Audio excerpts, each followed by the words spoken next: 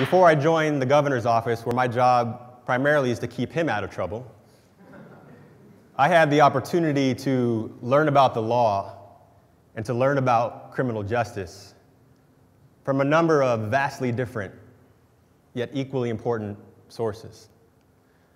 The first, most obviously, was in law school, where students such as I was spend three years with their heads in their books, in the libraries, in the lecture halls, trying their best to internalize legal practice, legal theory, and legal history. Working hard so we would understand these fundamental concepts, and so when we were called on in class, we wouldn't be embarrassed. All of us looking for that often elusive ability to see the bigger picture, to see the forest for the trees. And I began my legal career as a lawyer working in the military justice system. I served as both a prosecutor and a defense lawyer as an Army officer in the U.S. Army JAG Corps. And I had an opportunity to travel the world serving commanders and individual soldiers who had put their liberty in my hands. And that included a year in Baghdad, Iraq, during the height of the Iraqi war, where my job was to defend those that were defending America.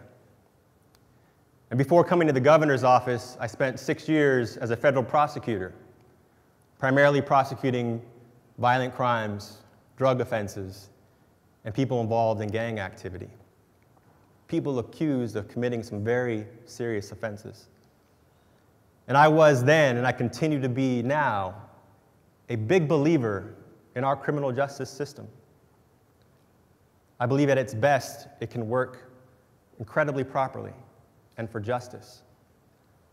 But as I settled into my role last year in the governor's office, I realized that despite three years in law school, a dozen years working in the criminal justice field, I had never been taught, at least in a formal sense, a single thing about one of the most important aspects of the criminal justice system.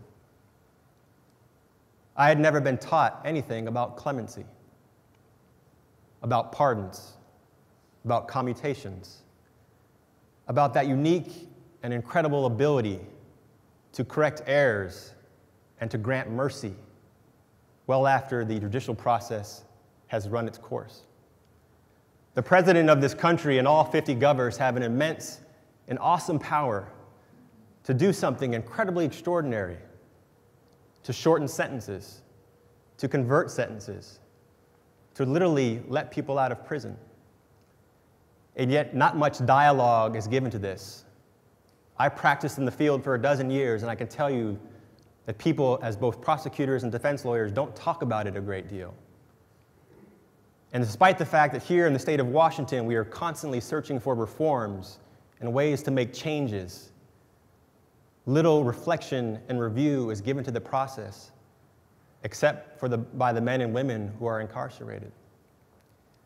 I believe we need to bring the clemency process back into the criminal justice system in a more meaningful and thoughtful way.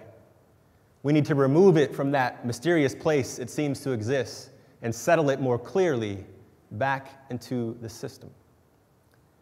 Now, systems have always been important to me as a lawyer as a practitioner, as a, think, a thinker generally.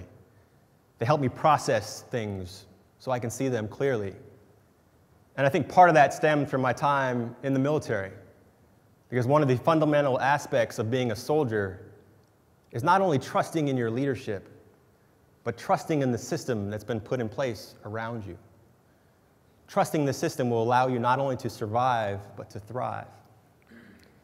And I thought about that a lot when, as a new lawyer, my first duty assignment was to go off to Army Airborne School to learn how to jump out of planes. And I will tell you that you have to put a lot of trust in the system when you allow folks to start pushing you out of airplanes. you have to trust that they packed your parachute well. And if they didn't pack the first one well, they packed your reserve well. You have to trust in the person in front of you and behind you so that when you stand up and you hook up and you shuffle to the door and you jump out, that it's all going to work in the way it's supposed to work.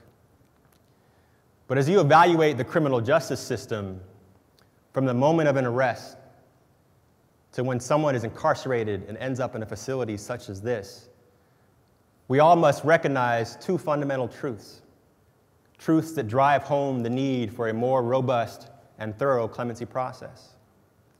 And the first truth is this sometimes our criminal justice system absolutely fails us. Sometimes it fails us by incarcerating juveniles for extended period of time. Sometimes it fails us by putting three strikes and you're out life sentences on offenders for comparatively minor offenses. Our system today struggles with how to deal with mental health problems that are permeating our communities and our prisons. And sometimes, on rare occasions, we incarcerate the innocent. So we all must recognize that sometimes our system, a system that I put a lot of faith in, fails us by facilitating injustices. And it fails not only the men and women that are incarcerated, but the rest of us. By putting our trust and faith in the system, we should demand that it work as best as it can. And while it does most of the time, sometimes it does not, and we must recognize that. The second fundamental truth that I believe calls for a greater demand in clemency is that not only does sometimes the system fails us, but sometimes those individuals who are incarcerated, they beat the system. And they beat the system not by getting off for crimes they in fact committed, but they beat it by overcoming the system itself. By not only surviving in the prisons, but by truly changing, by learning, by reforming, by becoming educated, by making amends to their victims. They engage in a remarkable development for the day they came in to the person they are now. And we must recognize that and see that sometimes clemency is the only opportunity for justice, and that some individuals do indeed deserve a second look at freedom. Now, clemency and pardons in the history of this world have not, only been, not always been viewed that way. There's actually a very fascinating history behind clemencies, not only in this country, but well predating it. The legal scholars who have looked at the clemency process have described it as not having a history of mercy, but a history of abuse. Kings in Europe used to regularly intervene in the criminal justice system at every stage of the process, sometimes pardoning individuals before they were even indicted, sometimes pardoning them immediately after they were convicted or immediately after they were sentenced. Other kings would regularly sell their pardons to the highest bidder. You could literally buy your way out of prison once you were there if you could afford it. King James II was notorious for selling his pardons for pounds and pounds of sterling. He would keep half for himself and divide the rest between his mistresses. And if you couldn't afford it at the time, if you weren't sitting on a pile of cash, you could literally put your freedom on layaway. You could make installment payments to the king and after you had paid enough, then he would let you out. Other kings have used the pardon and commutation process to populate their colonies and would let people out of jail to fight their wars. So your path to freedom was not by demonstrating the validity of your claim for justice, but by fighting and dying for the king. That's how clemencies used to be and we've obviously come a long way since then. In the founding of this country, our founders had a fantastic debate about the proper role for the president to have when it came to clemency. And now it's had a huge role in the development of criminal law in this country. Concepts that we now take for granted, such as self defense, not guilty by reasons of insanity, owe a lot of their legitimacy in our system not to the judicial process, but to the clemency process, where attorneys raise those issues for the first time. How we now think about the mentally ill and juveniles in our system also owes a lot to the clemency process, where those ideas about who we should incarcerate and why were brought to the forefront outside of the courts, but in the clemency process.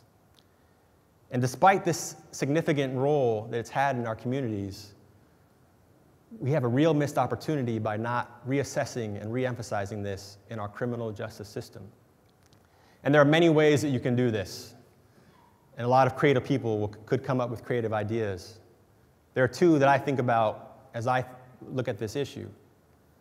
And the first is simply to talk about it again, to teach it in our law schools, to teach it to the lawyers who practice in the field on both sides of the aisle, to engage our offenders and talk to them about what it means to be one of those exceptional cases to get a pardon or a commutation from an executive.